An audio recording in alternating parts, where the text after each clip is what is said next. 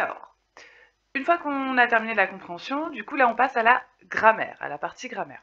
Donc l'épreuve, euh, elle est divisée en, deux temps. Hein. Euh, vous avez le texte, vous avez des questions sur le texte, de compréhension, ça on l'a déjà fait. Et il y a aussi les questions de grammaire. Donc vous avez vu là dans le sujet que je vous ai donné, les questions de grammaire, elles arrivent en premier et ensuite la compréhension. Ça dépend des brevets et vous avez le droit de les faire dans l'ordre que vous voulez. Moi j'ai choisi de commencer par la compréhension parce que c'est ce qui rapportait le plus de points. C'était 32 points la compréhension et la grammaire 18 points.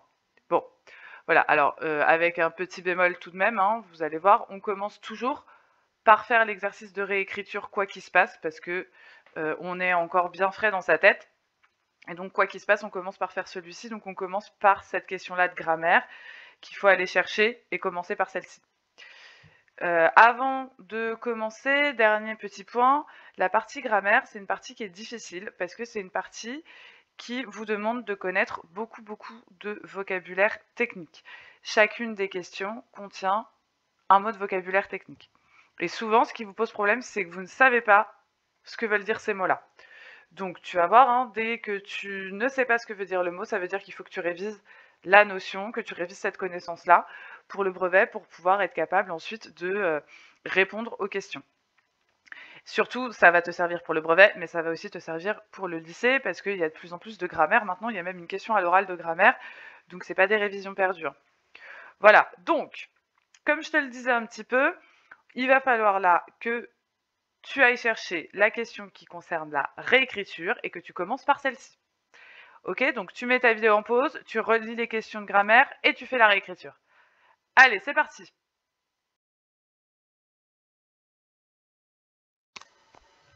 Donc on passe à la question de réécriture. Alors, euh, il faut bien comprendre que ce qu'on vous demande ici, c'est euh, de bien faire les accords nécessaires. On vous demande une transformation ici qui est de passer de l'un d'entre eux à deux d'entre eux, donc d'un singulier vers un pluriel, ce qui veut dire que vous allez devoir être très très vigilant sur les verbes et sur les accords.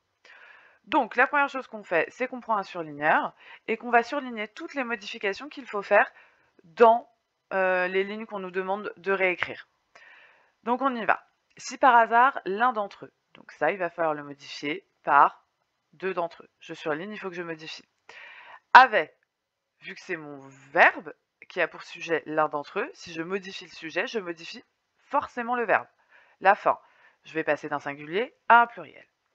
Si par hasard, l'un d'entre eux avait la pièce nécessaire, il achetait un cornet. Alors là, j'ai de nouveau un verbe. Rappelez-vous, hein, l'enjeu, c'est de faire ces accords, donc il faut que je vérifie tous mes verbes. Il, c'est qui? Bah, C'est l'un d'entre eux. Donc ça, il va falloir que je modifie et le sujet et la fin du verbe. Donc ça aussi, je dois modifier. Donc il achetait un cornet, avançait, gravement vers la plage. C'est quoi le sujet de ce verbe-là? Avançait, ben, c'est toujours il. Et comme je l'ai modifié, eh bien il faut que je modifie aussi ce verbe-là. Ça, c'est euh, des modifications que souvent vous, vous loupez parce que vous ne vous posez pas la question. Vous avez vu l'un d'entre eux, vous avez modifié là, puis c'est tout. Non, non, il faut vraiment se poser la question à chacun des verbes. Donc avançait, c'est toujours il, donc je dois modifier la fin de mon verbe ce qui va donner un pluriel. Ils avançaient ENT gravement vers la plage, suivi du cortège respectueux des camarades. Là, j'ai de nouveau j'ai un verbe. Qui est-ce qui est suivi? C'est l'un d'entre eux. Donc comme je l'ai changé en pluriel, pareil, là, il faut que je modifie et que je fasse mon accord. Et plantant ses pieds dans le sable, alors, euh, là, plantant ses pieds, ça marche si c'est un singulier. Si c'est un pluriel, je vais devoir aussi modifier le possessif. Donc ça va donner plantant leurs pieds. Si t'es pas au clair sur les déterminants possessifs, il faut que tu les révises. Quand est-ce qu'on met c'est, quand est-ce qu'on met leur Parce que là, c'est une modification à faire. Donc plantant, ça va donner plantant leurs pieds dans le sable. Il se laissait tomber sur les fesses. Le il là, bah, c'est toujours le même hein, dont on parle depuis le début. Donc là, il faut que je modifie. Si je modifie le sujet, je modifie la finale du verbe, se laissait tomber sur les fesses, là il n'y a pas de modification à faire, portant d'une main son cornet bien vertical et le couvrant de l'autre. Attention, là de nouveau, j'ai un possessif portant d'une main leur cornet, donc je dois le modifier. Alors, ensuite, Petite astuce pour vérifier que j'ai bien trouvé toutes les modifications nécessaires, je les compte. Donc 1, 2, 3, 4, 5, 6, 7, 8, 9, 10. Et là, je regarde combien j'ai de points. Bah, j'ai 10 points. Donc en général, il y a autant de modifications que le nombre de points. Si c'est sur 12, ça veut dire qu'il y a de grandes chances qu'il y ait 12 modifications. Si, c'est, si jamais vous en trouvez, là il y en a 10, mais si vous en trouvez 5, c'est qu'il vous en manque forcément. Donc ça, c'est une petite astuce pour voir si vous avez bien le bon nombre de modifications. Je rappelle qu'on commence par la réécriture parce qu'on est bien frais et que c'est de la logique, que voilà, vous revoyez la méthode, hein, mais c'est exactement ça qu'on fait. On surligne les modifications et ensuite on réécrit en faisant les modifications. Donc là, on les a bien repérées. Tu mets ta vidéo en pause et tu réécris. Allez, c'est parti.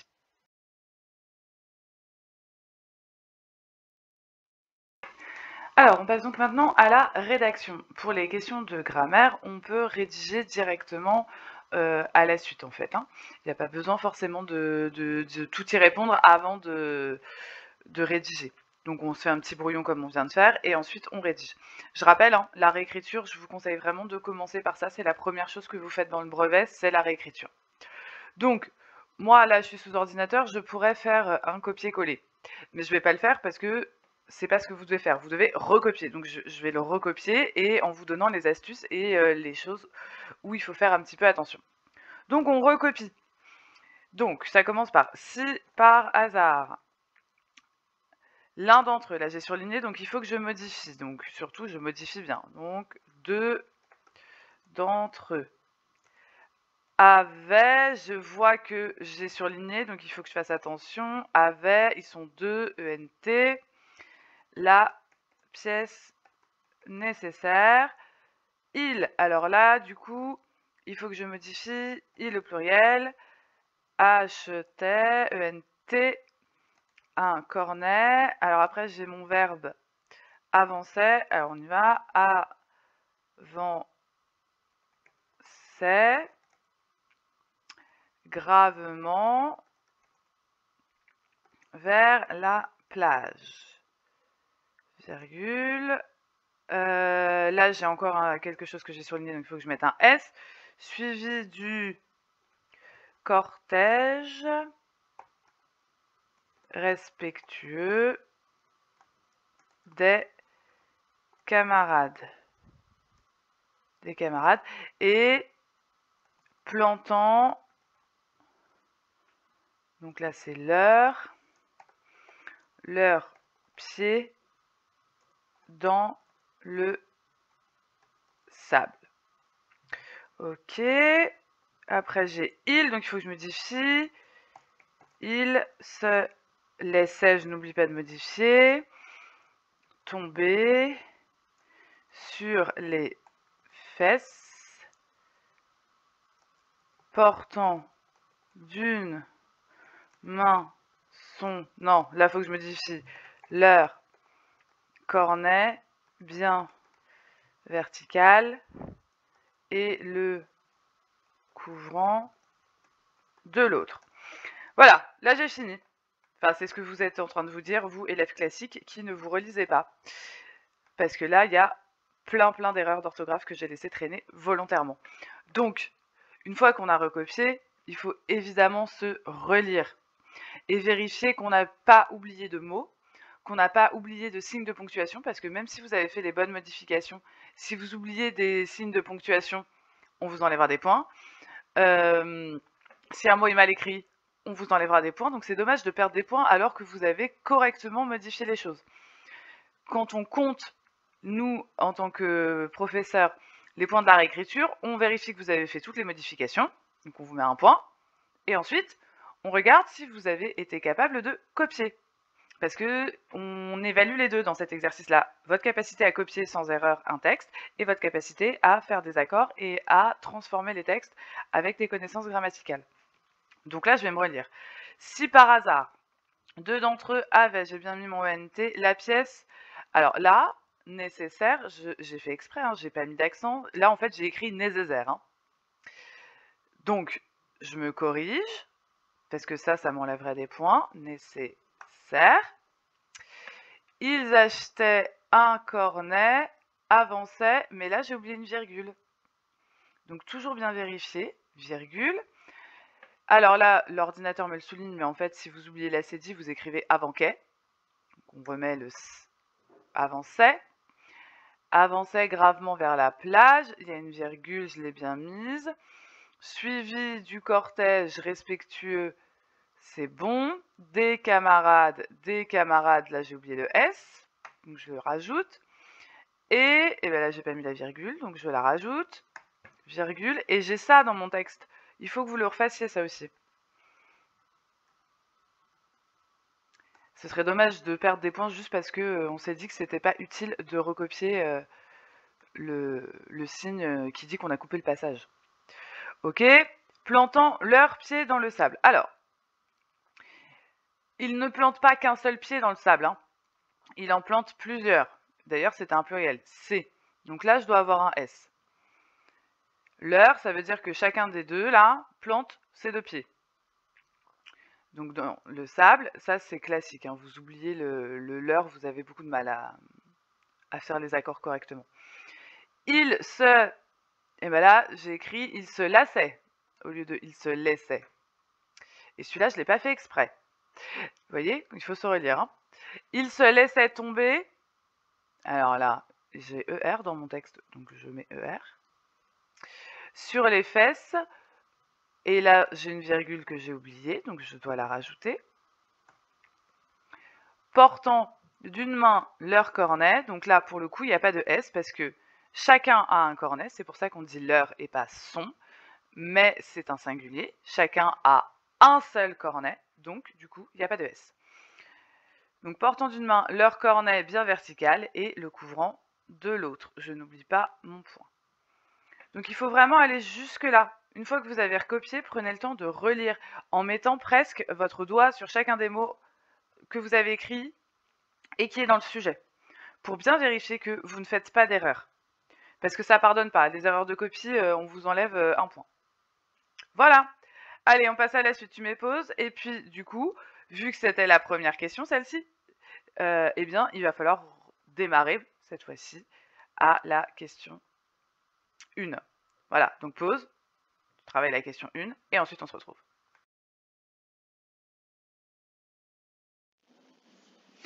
Allez, on y va pour la question 1. Donc là, euh, je vais la lire et puis on va en parler. Ligne 7-8. L'usage était alors qu'il offrit une friandise à chacun des camarades qui savourait religieusement l'unique friandise, chaude et parfumée d'huile forte, qu'il leur laissait. Pardon, j'ai dit friandise à place de frites. Donc, ce qui veut dire là, cette question, que tout, la suite, là, A, B et C, va concerner cette phrase-là. Je n'ai pas du tout besoin de revenir au texte, je vais travailler directement sur mon sujet, sur cette phrase-là. Alors, la difficulté, ça va être d'être capable de savoir ce que veulent dire les mots techniques qui vont être présents dans les questions. Parce que là, dans chacune des questions, il y a des mots techniques. Des mots techniques qui appartiennent à la grammaire. Donc là, quel est le groupe complément d'objet de savouret? Donc le mot technique, il est ici c'est complément d'objet. Donc, en troisième, on sait qu'il existe dans la langue française, hein, en grammaire, deux types de compléments d'objet. Vous savez, c'est les CO. Donc, il y en a deux. Il y a les COD, qui sont des compléments d'objet directs, qui viennent se mettre directement après le verbe sans avoir besoin de préposition. Pour les trouver, on pose la question quoi après le verbe. Par exemple, si j'ai une phrase qui dit je donne une lettre, à euh, Pierre, eh bien je donne quoi Une lettre. Donc une lettre, c'est mon COD. C'est un complément d'objet direct. Le deuxième type de complément d'objet qu'on va trouver, c'est les compléments d'objet indirects, où cela, il y a besoin d'une petite préposition pour les relier au verbe. Donc là, je reprends mon exemple de je donne une lettre à Pierre. Je donne quoi? Une lettre COD. À qui? Pierre, donc Pierre est un COI. Donc à quoi? Pas, pas à quoi directement, COD, à qui, COI. Ça c'est la petite astuce. Donc là, ce qu'il faut que j'aille observer, ce qu'il faut que j'aille regarder, c'est savouret. Donc je vais regarder savouret et je vais poser la question Je vais chercher à savoir si c'est un COD ou un euh, COI, et puis je vais dire quoi? Donc, l'usage était alors qu'il offrit une frite à chacun des camarades qui savourait, savourait quoi? L'unique friandise chaude et parfumée. Donc l'unique friandise chaude et parfumée. Est-ce que je peux m'arrêter là? Non, en fait, mon, complément, c'est tout ça. Hein. Donc, qui savourait quoi? L'unique friandise chaude et parfumée d'huile forte qu'il leur laissait. C'est tout ça, mon complément. Donc, je peux me le surligner en disant que voilà, pour la question 1, euh, le groupe, eh ben, c'est celui que j'ai surligné en jaune dans ma phrase. Et je peux préciser pour moi que c'est donc un COD, puisque euh, j'ai répondu à la question quoi. Voilà pour la A. Euh, vous commencez à avoir l'habitude, hein, je fais toujours un brouillon avant de rédiger. On verra ensuite comment on rédige. Donc ça, c'est mon complément d'objet direct. Petite précision, vous auriez pu répondre euh, que le COD, c'était l'unique friandise chaude et parfumée d'huile forte. Vous auriez pu vous arrêter là. On vous aurait pas forcément donné l'intégralité du point. Ça dépend de comment vous auriez rédigé. Parce que vraiment, c'est tout ça, le complément. Alors, question du coup B. Pour vérifier la délimitation de ce groupe complément d'objets, réécrivez la phrase en remplaçant par un pronom. C'est pour ça que je dis qu'il faut attendre avant de rédiger, parce que si jamais vous n'aviez pas identifié euh, tout le groupe, cette question-là, elle vous oblige à l'identifier. Donc, on va réécrire la phrase. Donc là, pour le coup, vous le faites directement. Hein. Vous pouvez le faire au brouillon avant si vous n'êtes pas sûr, mais... Euh, donc, moi, j'ai fait un copier-coller. Donc, ça va donner. L'usage était alors qu'il offrit une frite à chacun de ses camarades, qui... Et eh bah, du coup, par quel pronom est-ce que je peux reprendre? Unique friandise bah, c'est tout simple, hein. qui la savourait. Et le la, il vient reprendre l'intégralité de mon groupe. Vous voyez? Et donc je ne peux pas écrire qui la savourait religieusement, qu'il leur laissait. Le là, il reprend bien tout ce groupe-là. Si je n'ai pas tout ce groupe-là et que je laisse des mots, c'est plus français quand euh, je fais ce qu'on appelle une pronominalisation, donc je remplace par un pronom. Donc la question B, finalement, elle vous aidait pour la question 1. Parce que c'est comme ça qu'on peut tester aussi qu'on a bien pris le groupe en entier. En français, c'est un des tests de la grammaire. Voilà, donc ensuite question C. Alors la question C, euh, elle est sur 4 points, parce qu'il y a beaucoup de mots techniques on attend de vous euh, que vous soyez capable de réutiliser des mots techniques de la grammaire. Il y a le mot expansion. Alors, qu'est-ce que c'est que des expansions? Alors ça, pour information, c'est programme de cinquième. Euh, donc, des expansions du nom. on a ce mot-là qui, qui apparaît. Je vais en reparler. Et ensuite, on a la nature ou classe grammaticale. Ça aussi, c'est un mot technique. Alors, ça doit être automatique dans les classes grammaticales. Normalement, vous êtes censé euh, savoir de manière automatique quelles sont les 10 classes grammaticales en français. Si vous ne l'avez pas dans votre tête de manière automatique, ça va être très compliqué de répondre à la question. Donc, il y a finalement deux volets. Il faut relever deux expansions du nom qui sont de deux classes grammaticales différentes. Donc, vous voyez, si vous ne savez pas quelles sont les classes grammaticales, vous allez forcément vous planter à cette question-là.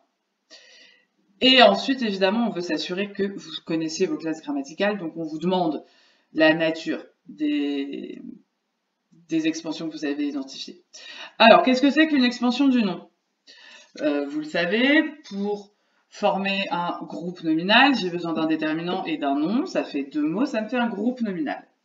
Et on l'appelle celui-là le groupe nominal minimal, parce que c'est le plus petit qu'on peut avoir euh, eh bien les expansions, c'est ce qui va permettre d'étendre ce groupe nominal et de donner de plus en plus de précision sur le nom. Donc les expansions du nom, il n'y en a pas 50 000, hein. il y a les trois possibilités.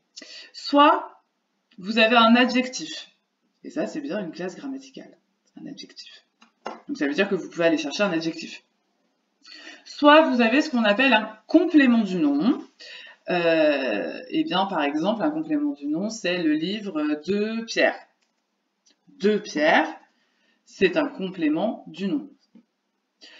J'aurais pu dire le livre bleu, adjectif, de Pierre, complément du nom. Et donc là, j'ai euh, des classes grammaticales différentes parce que le livre bleu, c'est un adjectif, de Pierre, l'expansion là, Pierre, c'est un nom. Donc j'ai bien deux classes grammaticales différentes. Alors il ne faut pas se tromper de mots à aller regarder. On vous demande friandise. Alors c'est celui-là qu'on vous demande de regarder comment est-ce que ça fonctionne? Alors vous voyez, on est toujours sur le même groupe. Hein. On est dans ce qu'on a déjà surligné. Alors, friandise. Vous voyez, finalement, son groupe, il est très très grand, puisqu'on l'a déjà identifié. Donc là-dedans, il faut que vous trouviez des choses qui soient des expansions du nom.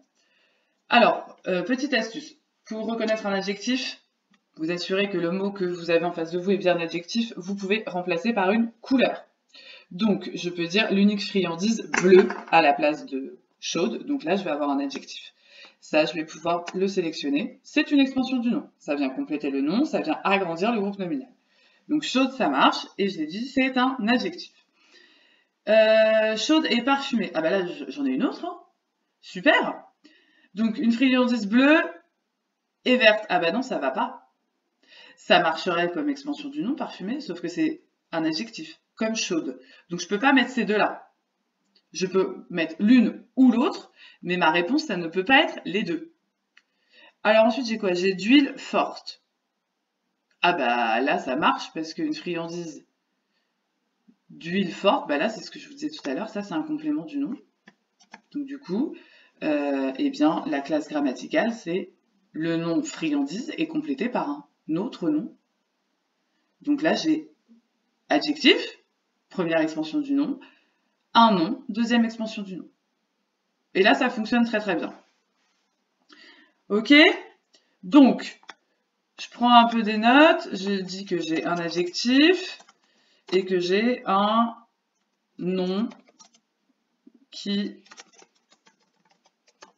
est un complément du nom. Alors, complément du nom, c'est une fonction, donc il euh, faut bien dire nom. Hein.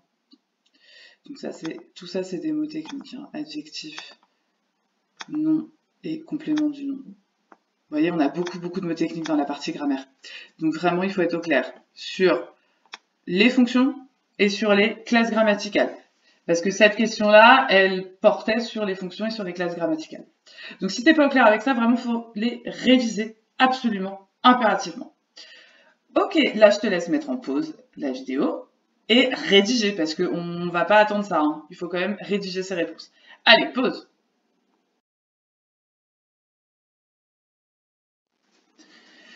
Alors, on y va pour la rédaction. Euh, il faut bien comprendre qu'il faut être particulièrement efficace sur la rédaction, qu'il faut aller vite. Là, à la différence des questions de compréhension, tu n'as pas forcément besoin de justifier ou d'expliquer. Par contre, on va vraiment attendre de toi que tu fasses des phrases. Donc là, on est sur euh, des phrases par rapport à ce qu'on disait dans la première vidéo, on est sur du facile. C'est-à-dire que tu reprends les mots de la question et tu réponds à la question et on est bon. Alors on y va. Euh, question donc une A. Quel est le groupe complément d'objets de savourer Je reprends les mots de la question. Le groupe complément d'objets de savourer, vraiment là moi je fais littéralement un copier-coller. Hein. Euh, c'est pour vous montrer que il n'y a pas de a pas de difficulté, vous avez les mots qui vous permettent de répondre. Donc le groupe complément d'objet de savourer, là il me faut un verbe, est, deux points, et j'ouvre les guillemets. Vous voyez, quand ils nous ont parlé du verbe, ils ont ouvert les guillemets. Hop, je viens le rechercher, je le recopie, et je m'arrête là. Vous pouvez, si on a dit COD, vous pouvez me dire c'est un COD. Point. Et ça suffira. Là, vous prenez le point. Donc j'ai juste repris les mots de la question, j'ai réécrit ma citation, et on est bon. Alors moi, là, dans ce sujet, hein, je surligne beaucoup, mais vous, quand vous rédigez, on ne doit pas voir hein, le euh, le surligneur. Hein. Le surligneur, c'est vraiment pour le brouillon. Vous, ça doit donner des choses comme ça. Ça doit même euh, être... Il n'y a rien qui est souligné, rien qui est en gras. Voilà. Vous, vous, juste vous écrivez et ça fonctionne. D'accord? Alors, pour la question B, pour vérifier la délimitation, la délimitation de ce groupe complément d'objets, réécrivez la phrase en le remplaçant par un pronom. Bah là, il n'y a même pas besoin de faire de phrase. On l'a déjà fait tout à l'heure. Hein. On réécrit tout simplement la phrase. Ça suffit. Si on vous dit de réécrire, vous réécrivez. On ne vous pose pas de questions, on vous donne un ordre. Bah, vous le faites. Et ça marche très bien. Alors maintenant, la question C, elle est un peu plus compliquée. Puis d'ailleurs, elle était sur 4 points. Donc là, va peut-être falloir organiser un petit peu. Encore que hein, ça va ressembler beaucoup à cette réponse-là, en fait. Donc, on me dit, relever deux expansions du nom friandise de nature ou classe grammaticale différente, préciser la nature. Alors, ben, je vais dire, les deux expansions du nom, je reprends les mots de la question, hein, friandise, sont, deux points. Alors, souvenez-vous, hein, on peut aussi utiliser des petits connecteurs. Là aussi, ça marche. Comme il y en a deux, on peut quand même organiser un peu, sont d'abord, alors le premier, c'était, on a dit qu'on prenait chaude, hop, je vais chercher, je le remets là, chaude. On me demande de préciser sa classe grammaticale, je n'oublie pas de le faire, qui est un adjectif. on me demande juste la classe grammaticale, donc je ne suis pas obligée de donner sa fonction. Sont d'abord chaude, qui est un adjectif, virgule, et... Non mais là du coup le d'abord il n'est pas... On peut juste faire comme ça, ça sera plus simple et plus rapide. Donc, et... Poum poum poum. Je vais chercher d'huile forte, c'est ce que j'ai repéré. Je le cite, nous on n'oublie pas les guillemets, et d'huile forte, cette fois-ci, qu'est-ce qu'on avait dit que c'était? On avait dit que c'était un nom, qui est un nom, hop,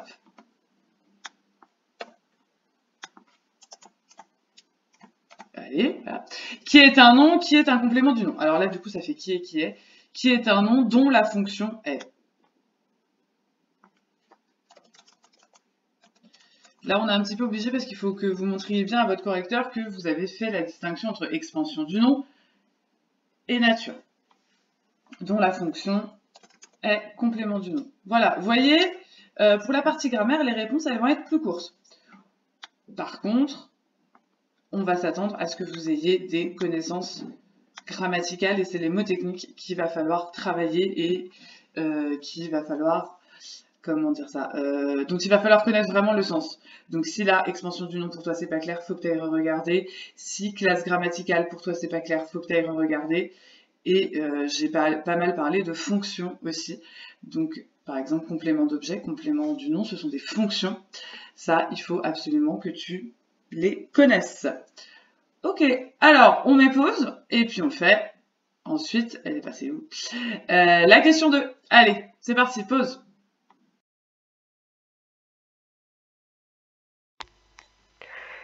Alors, on y va pour la question 2. Et à mon avis, vous as eu du fil à retordre là. Donc, je la lis. Ligne 12-13. Le festin terminé, plaisir et frustration aussitôt oubliés, c'était la course vers l'extrémité ouest de la plage. Ok, donc comme pour la première question, là, euh, on va parler de cette phrase-ci. Hein. on n'a pas besoin de revenir au texte. Il va falloir chercher des choses là-dedans. Ok, alors qu'est-ce qu'il va falloir faire avec ça?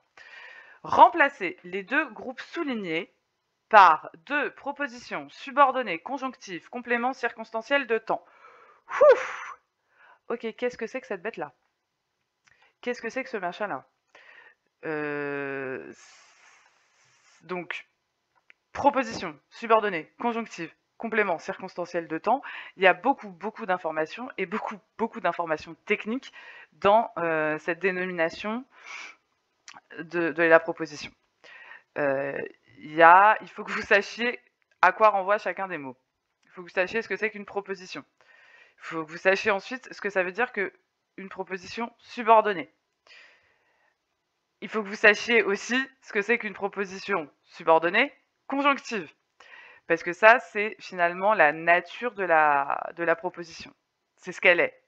Et alors après, le bout, là, complément circonstanciel de temps, c'est sa fonction dans la phrase. Et c'est aussi c'est pour ça que la dénomination est aussi longue, parce qu'on vous donne et la nature et la fonction. Donc, complément circonstanciel de temps, là, c'est peut-être un peu plus simple à comprendre. Ça veut dire que vous devez indiquer une temporalité. Bon. Maintenant, on, est bien gentil, hein, mais euh, il faut quand même savoir ce que c'est que ce machin-là. Donc, en français, on distingue des phrases simples, qui ont un seul verbe, et des phrases complexes qui ont plusieurs verbes. Là, dans ma phrase d'origine, euh, je n'ai qu'un seul verbe conjugué. Il est là. Hop, je vous le mets en rouge. Ça, c'est mon verbe conjugué. J'en ai qu'un seul, donc c'est ce qu'on va appeler une phrase simple. Ce qu'on vous demande, vous, de faire, c'est de fabriquer une phrase complexe avec une proposition. Donc il va falloir rajouter des verbes. Déjà, il va falloir rajouter des verbes ici, et ensuite en rajouter ici, des verbes conjugués. Bon. Subordonné, ça veut dire qu'on a une proposition principale, qui est autonome, qui dirige la phrase, auquel on va venir coller une autre proposition, donc avec un verbe, euh, et on va venir la coller grâce à une conjonction de coordination. Vous vous souvenez, dans les classes grammaticales, c'est les mots en Q. C'est pour ça qu'elle s'appelle subordonnée conjonctive, parce qu'il y a d'autres types de subordonnées. On y reviendra. Donc, je vais devoir rajouter un mot en Q, ici, là, et un deuxième ici, plus un verbe. Et ces mots en Q, ça va être des mots qui vont devoir m'indiquer le temps, la temporalité. Donc il faut que je le fasse par rapport à ma proposition principale, qui est celle-ci. Euh, et donc pour indiquer la temporalité, en fait, ce que je dois faire, c'est dire si ça se passe avant, pendant ou après. Alors on essaye. Hein. Euh, donc le festin terminé. Le festin se termine pendant la course, après la course ou avant la course? Ben, Il se termine avant. Donc on va pouvoir utiliser après que le festin fut terminé. Donc là, je dis le festin se termine et il se passe quelque chose après, il se passe la course. Sauf que je dois aussi intégrer ma deuxième et alors là, c'est, elle est compliquée cette question, elle était très compliquée. Euh, donc après que le festin fut terminé et là, c'est la course, elle démarre au moment où euh, la frustration et le plaisir sont aussitôt oubliés. Donc, et quand plaisir et frustration étaient aussitôt oubliés, virgule, et je viens remettre ma principale. C'était la course vers l'extrémité ouest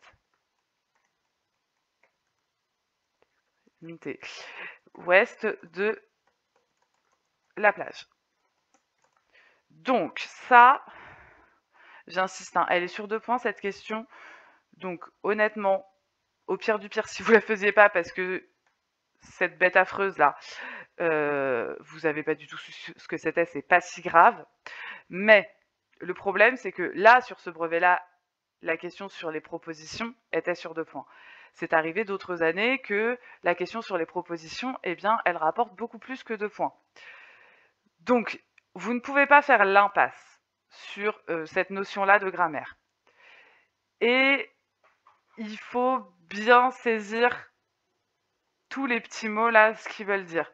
Et pour pouvoir bien comprendre ça, il faut avoir déjà des solides connaissances grammaticales sur ce que c'est que les classes grammaticales, sur ce que c'est que les fonctions grammaticales, sur ce que c'est qu'une phrase simple, une phrase complexe.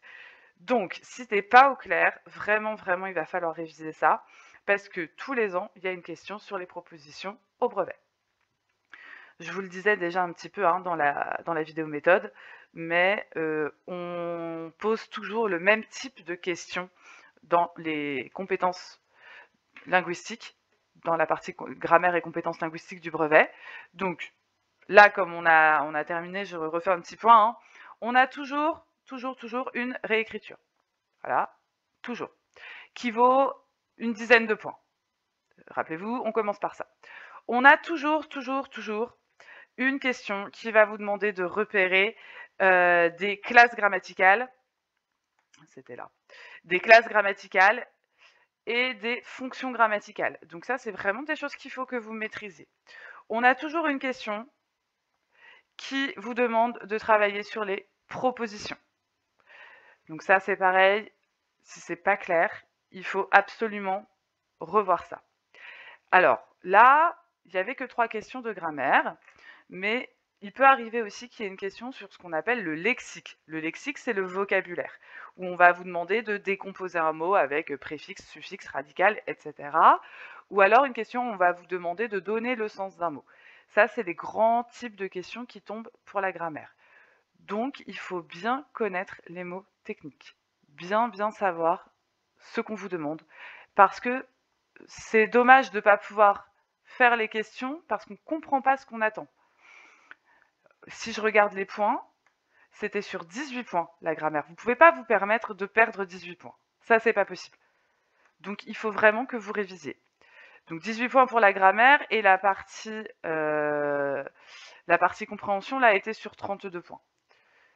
Mais parfois, c'est l'inverse. Parfois, la grammaire, elle compte beaucoup plus que la compréhension. Donc, d'un point de vue stratégique, il faut commencer par ce qui va vous rapporter le plus gros nombre de points. Donc si la grammaire elle est sur beaucoup de points, vous commencez par la grammaire. Si c'est la compréhension, vous commencez par la compréhension.